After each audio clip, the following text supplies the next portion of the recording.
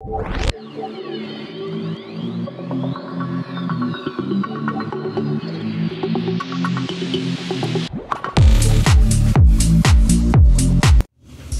guys, welcome back to my freaking channel. So as you can see by the title, this is a hold on. Y2K video. Um, it's basically a video of me ranting about how I got fired and stuff like that. And what am I currently doing now?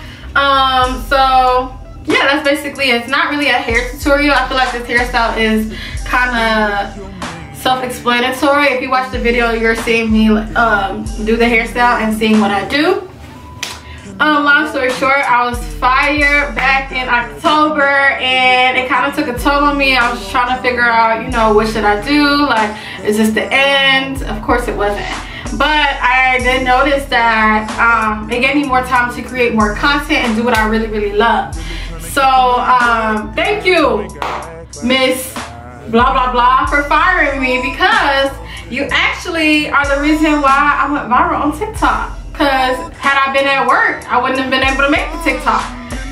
But thank you. Everything happens for a reason and that's just the point of this video. Like when you feeling knocked down, you gotta get back up and keep going. You gotta keep going. You can't just stop. Thank you. Keep watching my videos. Thank you to everybody who's played a role. I do also want to add before I get into the video. I know I said I was going to do the iOS 14 video, recorded it, everything. Um, and went to edit, everything was blurry the screen recordings. If somebody know how to fix that, tell me how to fix it. I don't know if it's the editing software I'm using, but y'all will get that video. It's just not gonna be today because today we's on this, okay? Um, but thank you guys so much to everybody that's reporting me, reposting me, gave me content ideas. Thank you, thank you, thank you. I love you guys so much. And I'm gonna stop talking. I'm gonna shut the up. Let's get into the video. Okay, a shout out to Akira and Janelle because they made me do this. but um, I came over here today to talk to you guys about life and how life can knock you down, but you just gotta keep going. So that's the sermon today of this video and I'm gonna share a little bit about my experience. Sorry guys, the mirror's like right here. I'm gonna share about what's going on with me and maybe some of you guys can relate. So in October, I got fired from my job and it wasn't like it was like a super good job, but it was a job in my field. So like when I graduated from grad school, this was like my first public health job. And um, I was super excited. I quit the job I was at, which was like only paying like a hundred dollars less than the job that I took on. But I took that job on um, because it was a job in my field and I got a degree for it. So I'm like, I might as well utilize it, even though um, that's not something that I would want to do for the rest of my life. And so when I took this job on, my mom and everybody was telling me like just because you know jobs offer you like give you a position or offer you a position doesn't mean you necessarily have to take it. And you know i didn't listen or whatever. I guess it's my mom's intuition but i didn't listen and i took the job because like i said it was paying more money and it had something to do with my public health career. So i took it. And I was working at a call center anyway, so I'm like, yeah, yeah, let me ditch this and let me do something that I'm interested in. So that's exactly what I did. Right now I'm just parting it half up, half down. I separated my bang part, as you would say, and I'm just making sure the half up, half down part is good. Um, but back to the story. So I took the job, and when I first started it, it was like a living nightmare um, I had a supervisor. She was like of a different culture, and no guys, she was not white. She was um, from Africa, Nigerian to be specific.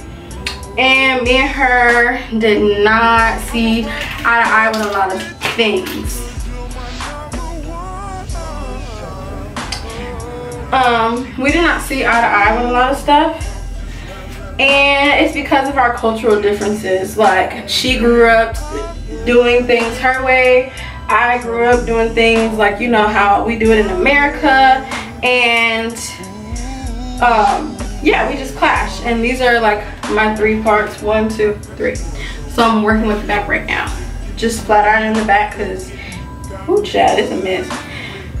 Um so we would clash. Like some things I would find rude that she would say that would be normal for people in Africa I guess or more specifically Nigeria well in her culture I'll say that. Um she like said a lot of things that make me feel uncomfortable. I won't go into too much detail because I ain't gonna get in trouble for this video. Um because I want another job even though I need to pay the bills my bills and my student loans but anyhow um so yeah, we wouldn't see eye to eye and it got to a point where it started to get really like nasty and uncalled for as you would say. Um, I know there was a time where I would keep my office door shut just because um, they kept the lounging area. I don't know if I told you guys, but it's a mirror right here. That's why I'm looking right here. They kept the lounging area that connects all the offices like really cold. So I would keep my door shut and it'll make the room hotter. Um, or warmer at least. And she would tell me like, oh, you know, you're not allowed to keep your door shut. And I would be like, okay, um, you know, is that in the policy and why? And she was like, oh, it could be like a fire hazard. Meanwhile, that's not why she wanted me to keep my door shut, guys. She wanted to be able to see what I was doing at all times. And I looked in the manual. There was no such thing as you have to keep your office door open because of a fire hazard. Even though she keeps her door closed. But yeah, I just felt like I was being picked on and then I was the youngest one. I was the only black American that worked there. Everybody else was uh, pretty much from Africa. Yeah, everybody there was from Africa.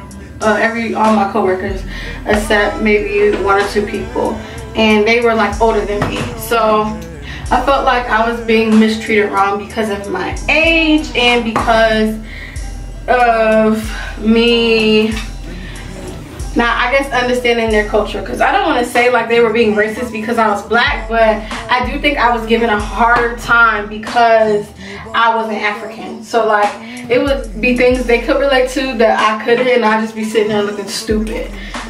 And um another thing we clashed on I don't mean to keep ranting about this but another thing we clashed on is um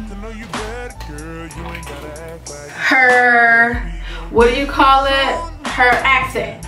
She would say a lot of things that I wasn't able to understand and I would ask her to repeat it. And yeah she would get so upset but I just I really could her accent was super thick because you know she wasn't born here and I couldn't understand her so I just like kind of like, you know, avoided asking her anything. Yeah, I just did that because, I mean, it made it peaceful. But long story short, I got fired not because of something I said or anything. I got fired because they put a target out on me basically. So none of them really like care for me because they wanted somebody to speak Spanish anyway. And I got hired through the state. And so the state hired me and put me at that county. So when I got to the county, they were expecting somebody that spoke Spanish because that's what they had requested for.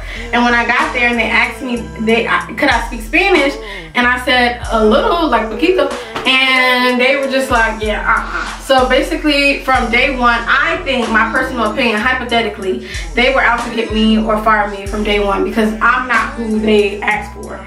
They can't hire spot one. Everybody that comes to them is hired by the state. So I'm gonna put that out there. But yeah, ever since day one, they were like kind of out to get me.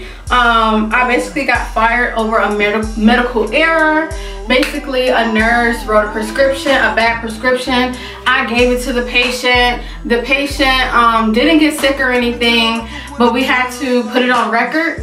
And when we put it on record, the lady who obviously didn't like me reported that I gave the patient the medicine. Even though I didn't write the prescription, I just followed the prescription you know, they did that and that's why I got fired. And the lady who actually wrote the prescription didn't get fired. That's what I mean. They were out to get me from the start. And I did everything I could. Like, uh, we got the state involved and everything. But since I was still in my six month probation period from being hired, it was nothing they could do because they can fire and hire whoever they want as long as you're in the six months. So they can fire you as like they can fire you basically for anything as long as you're in the probation period. Like if it was past six months, then they wasn't gonna be able to fire me for that. Um, and that's why I think it was set up because on the day that I hit six months, the, the exact day, um, I got fired. So I knew it was a setup all along. But um, it was kind of a, a blessing in disguise, as you would say, um, because I if you work a nine to five and um, you know you have other dreams or like some sort of side hustle it's hard to work a nine to five come home do your side hustle work out try to stretch try to cook. Like it's so much. So you know i want to be an influencer and a content creator which is the same thing. Uh, but it was hard for me to basically come home and give you guys YouTube videos. So then I stopped being consistent. Like y'all stop getting YouTube videos. So it's kind of a blessing in disguise because now I have more time to create content. I'm still looking for a good job. I know like it's pretty slow now because of COVID, but you know, in due time, I'm still making money from my business. I'm still getting like help or whatever from like, you know, the people that love me um yeah it's hard to create content go to the gym come back make food after your nine to five so it now gives me a lot of free time. I wasn't making a lot of content because i would be tired from work. And my i was putting my dreams aside dealing with this job that i hated so much. Um so when i got fired i wasn't like pissed because of why I got fired, but I wasn't mad that I got fired. Like I, I didn't care that I did not have to work there anymore. I was just pissed at why they chose to fire me, especially fire a black person or a black woman during a pandemic, all because, you know, yeah, I explained to you guys already, but it was just crazy. Guys, I don't know where in the world I left off, but yeah, so I'm glad that that blessing in disguise happened because now I get to really do what I love and when life knocks you down, you keep going. You keep going. You even keep doing what you want to believe in. Don't let these people or, you know, these negative influences or one negative experience turn you down from your dream. What Gucci Mane say? Strive for excellence.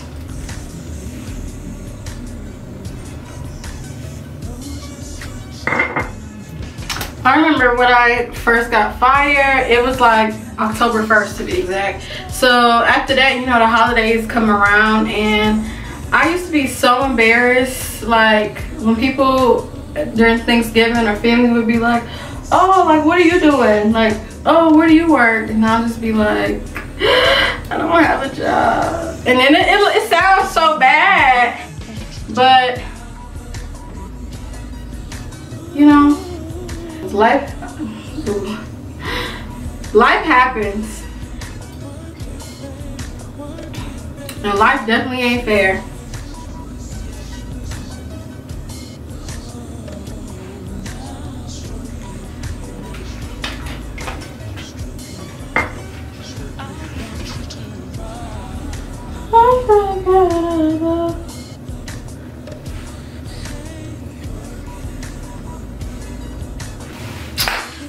So this is the foundation. Now all i have to do is like flip the ends.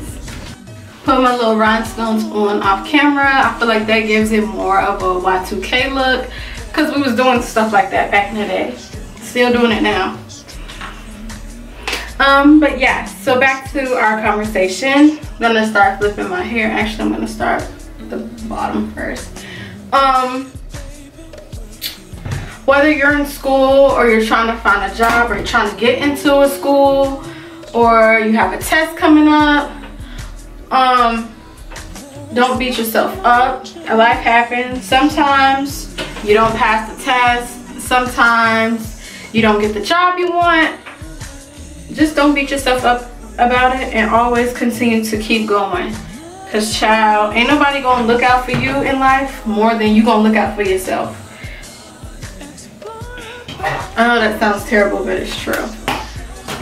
And those people that did that to me at their job they got their karma because I still talk to people that was working there after me and they all quit. And the job that we had oh baby if one more person left after me it would have been hella hella work for other people to do because once somebody leave they leave all their work to someone else or they distribute the work to the other team members.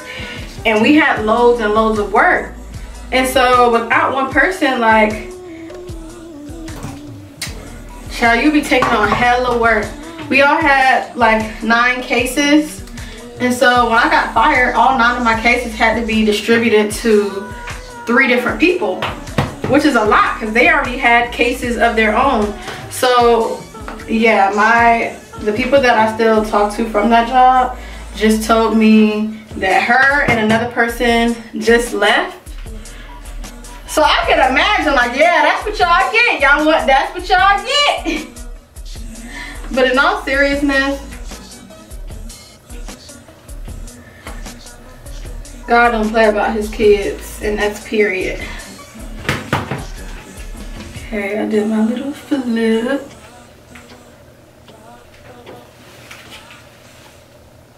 And this is the final look. Hold on, I gotta, I, I, BRB, I'll be right back. Y'all, y'all like my jersey? this is the final look. Ah, Luxury by Lee on the shades, period, cool. Go ahead and cop Ooh. Ooh. Hold on, let me fix my bang before I be doing all that.